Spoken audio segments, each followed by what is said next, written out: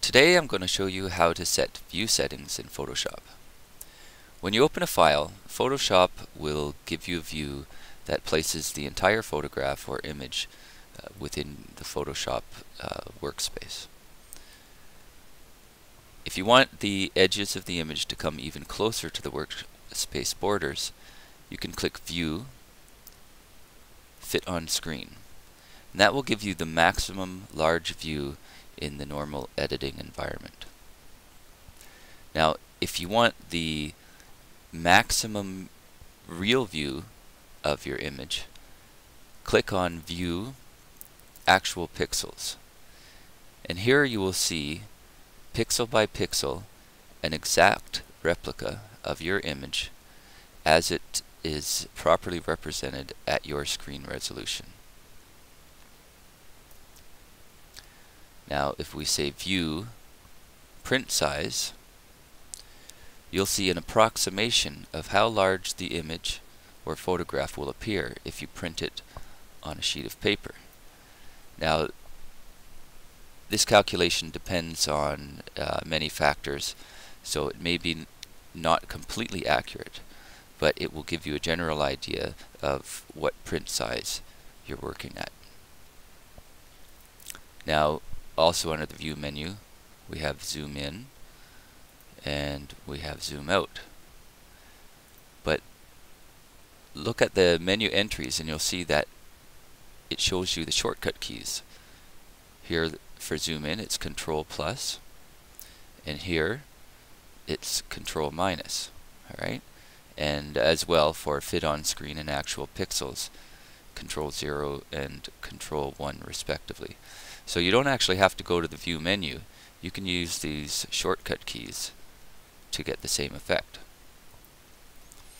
So if I go control, plus repeatedly on my keyboard, I get to zoom in, control minus, and I get to zoom out. Now in addition to the view menu, in the tool palette on the left hand side down near the bottom, we have the zoom tool. Okay, you can you see the uh, little pop-up hint here shows in brackets the letter Z. You can also press the letter Z to put the zoom tool into effect. That will give you uh, at the top here uh, different buttons for zooming, uh, which actually include the same um, commands that we saw in the view menu, actual pixels, fit on screen. We also have a fill screen and a print size. If you click fill screen,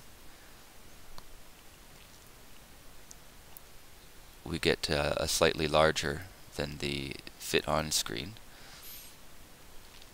And if you click and drag across an area within your photograph or image, you can zoom to that exact area.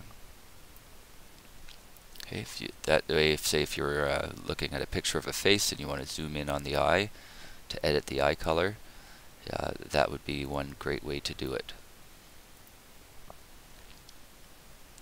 Now, other options that we have are zoom all windows if you have more than one document open, and resize windows to fit.